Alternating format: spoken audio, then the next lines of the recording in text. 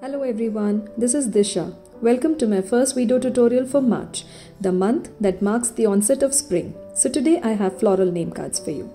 Supplies are Craftangles watercolor paper cold press, Craftangles liquid watercolors in moss green, mystical waves and poolside. I have drawn two concentric circles. The outer circle measures 5 centimeters and the inner circle measures 3.5 centimeters. The outer circle will serve as a guideline to cut along and get a circular shape. I'll be drawing around the inner circular lines. For the first name card, I'll be making the simple leafy wreath. Just load the paintbrush with color and using the tip make a thin line, then glide and pick. There, you have a leaf. Now you continue painting leaves with colors of your choice. You may paint leaves in single color or multiple colors.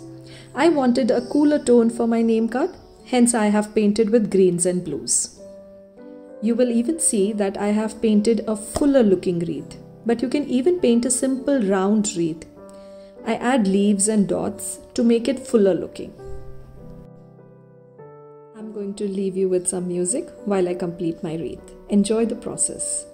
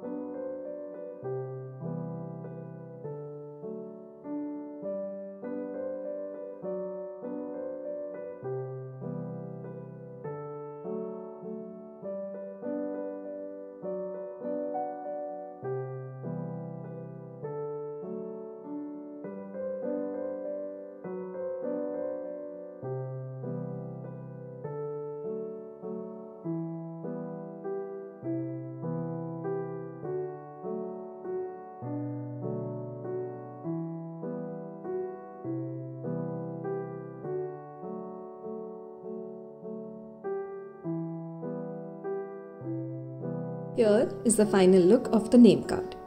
For the second wreath, I have taken pumpkin orange, limelight, and Victorian rose. You may even use the leftover greens from the first wreath that we did.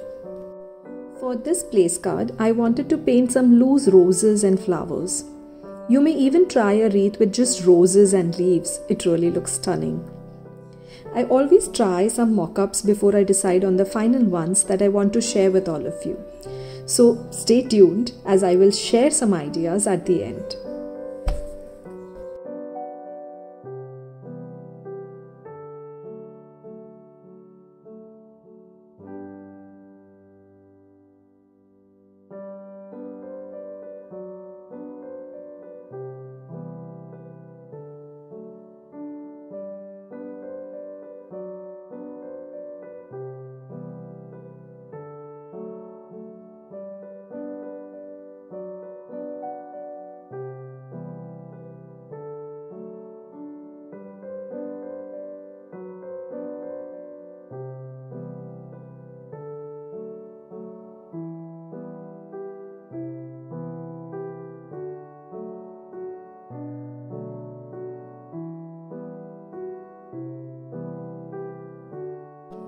After painting the roses, you can add some 5 petal or 4 petal loose flowers, some leaves and foliages to complete the entire wreath.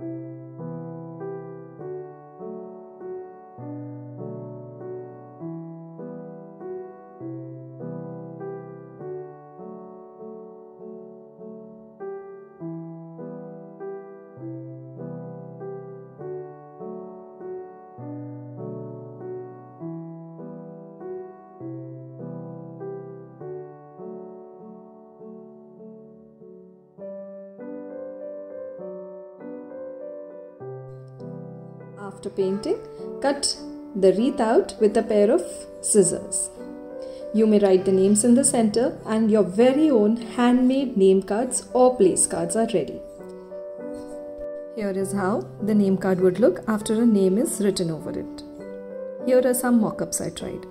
You may paint light florals all over the paper and write the names for a softer look. You may draw florals inside a Polaroid and write the names below it. You may even paint a half wreath and write the names. I hope you enjoyed this quick tutorial. Please tag me at the rate of the Crazy Craft Lover and Craftangles if you try these out. Thank you. See you next time with another fun project. Till then, stay safe.